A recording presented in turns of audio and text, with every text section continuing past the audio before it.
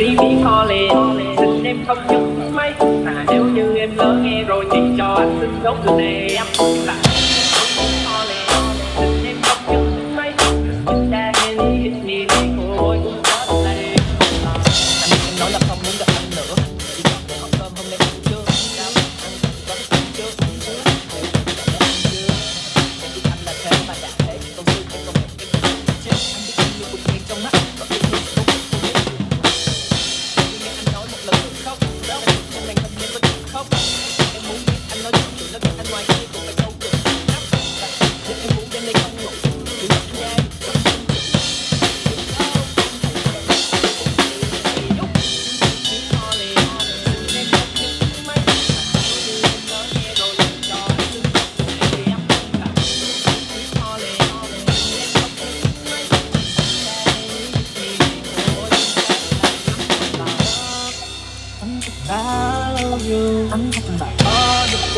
you said you wanted us to do. Our love.